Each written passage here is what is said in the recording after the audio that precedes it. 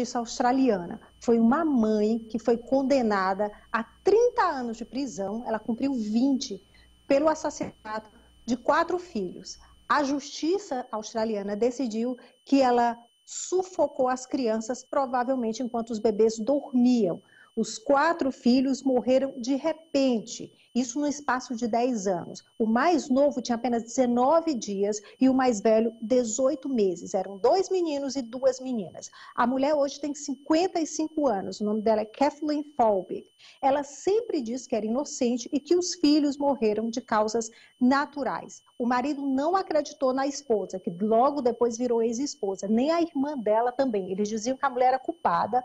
Eles entregaram um diário dela na época do julgamento e no diário havia confissões da australiana que dizia que estava assombrada pela culpa. Imagina, quatro morreram. É lógico que essa mãe ia estar assombrada pela culpa. Mas os amigos sempre acreditaram nas palavras da mãe e moveram uma campanha durante todos esses anos, até que o caso foi revisado e revisado com base na ciência.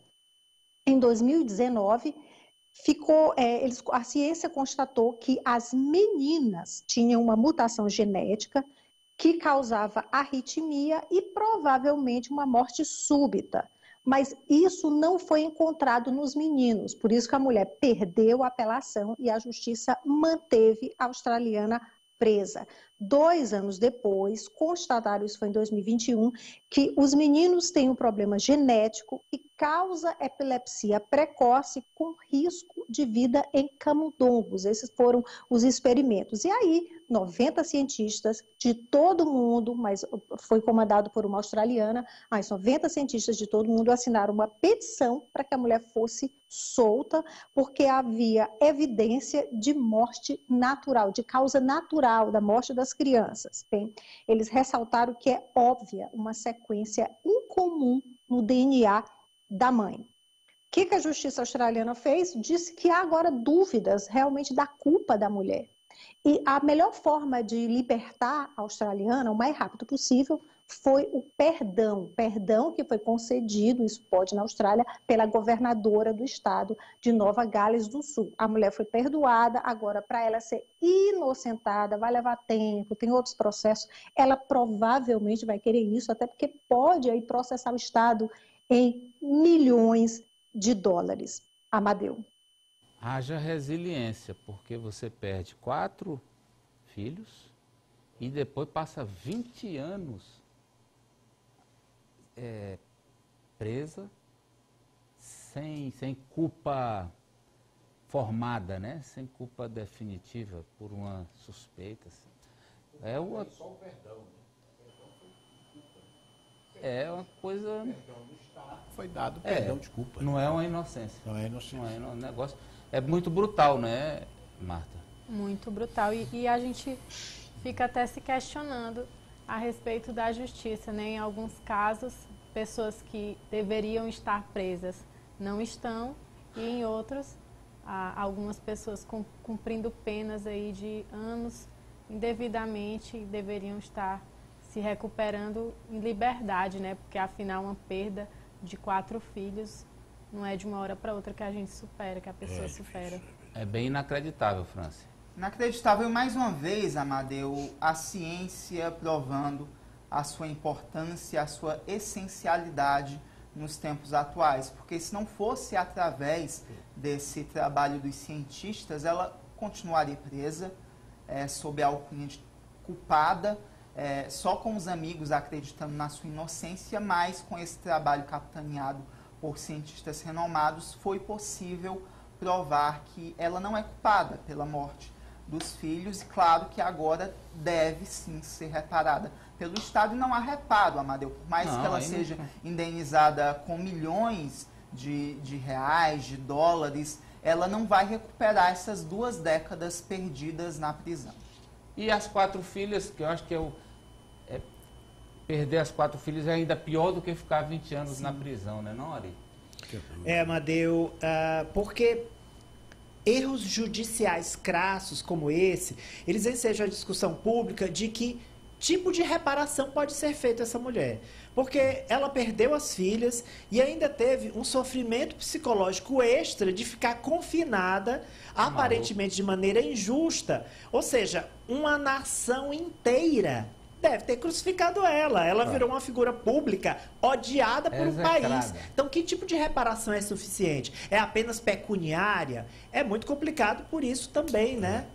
É irreparável, resumindo. Pronto, acabou. É A irreparável. Ari, ela ficou conhecida na Austrália como a pior serial killer feminina do país. Meu Deus. Vamos agora à manchete da, da Socorro, Ari, que trata de um tema atualíssimo.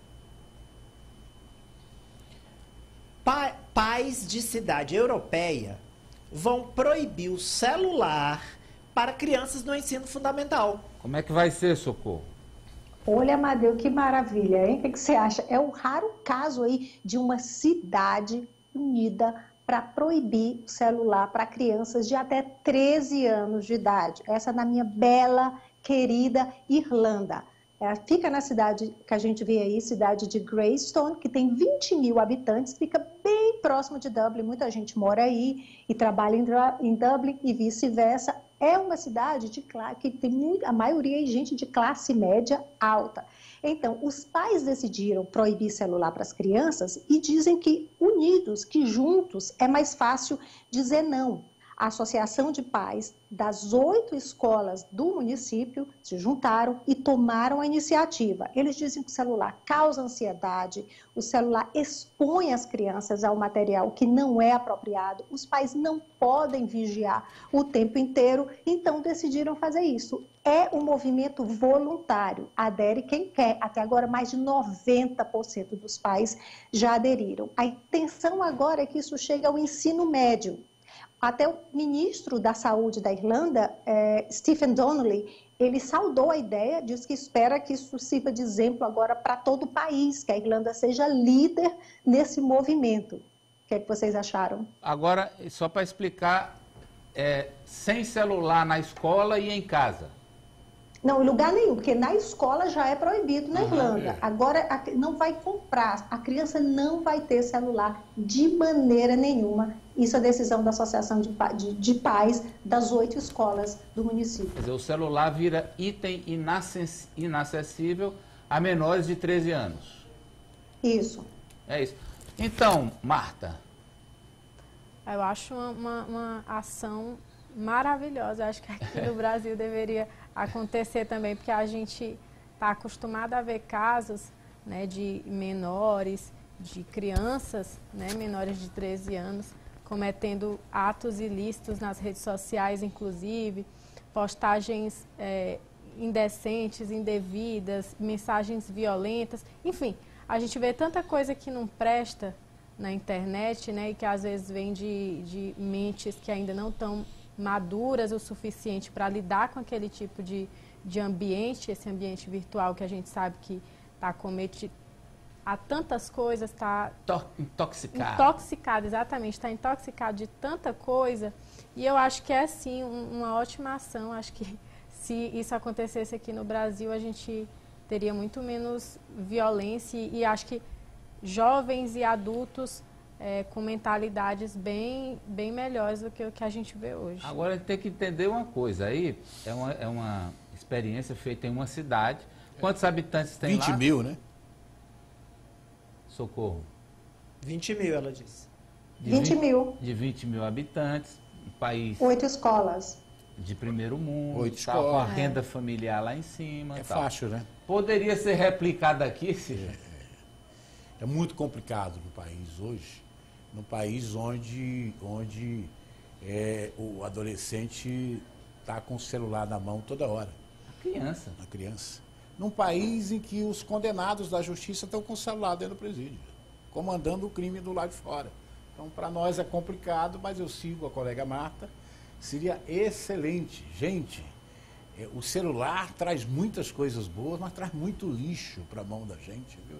Então a gente seria excelente, mas eu vejo com muita dificuldade para o nosso país. Até os 13, Ari. Olha, seria bom se não fosse impossível no Brasil. Ah, eu acho que aqui deveria ser o seguinte: crianças até 3 anos de idade não teriam celular. Porque eu conheço crianças de 3 anos que já têm celular. É demais. mas Ah, Viu, Socorro? É, três, E ó, fica três. no joguinho. Acredito. Os pais dão celular pra criança Então, parar até de se chorar. né? entreter. É, aí Vamos vai. trazer pra nossa realidade até 3, não. Ah, não, tem, Ari. Tem.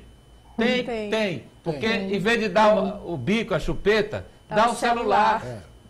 É. Não, agora, o pai economizaria uma grana, né? Porque o de 13 já quer o iPhone 14 Max Pro Gold Plus. Fala, França. Amadeu, oh, desculpa. Não, seria perfeito, Amadeu, mas é uma medida utópica, porque inclusive isso passa muito também pela cultura é, nacional, a cultura. Ah, o Brasil é um país. dos maiores consumidores, E né? hoje de- o que de nós tudo. observamos foi isso que, Internet. que o Ari citou, que os pais, muitos pais entregam um aparelho eletrônico para os filhos, inclusive para não ter a preocupação de ficar observando eles o tempo todo. Sentem uma segurança que na verdade não existe, segurança nenhuma nos filhos ficarem ali Tá dentro de um distraídos quarto, trancado, com, com um, celular, jo- um né? joguinho e a gente vê o que aconteceu recentemente Meu aqui no, no Brasil. Uma série de atentados, jovens, crianças replicando mensagens eh, nas redes sociais eh, inapropriadas e, inclusive, de apoio a atentados em escolas e creches. Então, seria uma, me- uma medida perfeita, porque, inclusive, nós fomos criados sem celular Ah, na mas- infância, mas hoje é uma medida utópica. Mas os nossos pais foram criados avós sem televisão, e nós fomos. Eu acho que é a questão. Bom, tem uma graduação aí, por não, socorro. Amadeu, é, é só para reforçar, eu achei interessante essa frase dos pais. Juntos é mais fácil dizer não. Se todos os pais Ah. concordam em não comprar celular para os filhos, porque às vezes o filho chega e fala: Ah, mãe, eu, eu não tenho, a minha colega tem, a, a amiguinha, a vizinha. Então, ninguém tem. Então, juntos é mais fácil. Mas, Socorro, quando esse menino estiver chorando, o Amadeu Neto tá chorando, dá o celular pra ele que ele cala a boca. Aí, dá o celular, cala a boca. Socorro, vamos fechar com a União Euro- Europeia alertando ao Twitter. É, Amadeu, o Twitter, o dono dele, aquele moço que, que fi- voltou de novo a ser o mais rico do mundo, Elon Musk, ele, o Twitter decidiu que não vai mais seguir um código de conduta para evitar desinformação na internet. Um código que foi elaborado com a União Europeia e a ajuda pela União Europeia com a ajuda das grandes empresas de tecnologia, como Google, como Microsoft. Só que o Twitter decidiu, não, eu não vou mais seguir, é voluntário, ele pode sair quando quiser. Mas a União Europeia, além de criticar, deu um puxão de orelha e disse: olha, isso você não vai seguir, mas a lei de serviços digitais, que entra em vigor em agosto, essa sim, e a gente vai fiscalizar o Twitter com bastante, é, com muita vontade.